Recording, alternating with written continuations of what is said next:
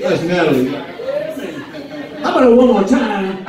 That's our good friend Natalie right there on the vocals helping us out here. Oh yeah. And how about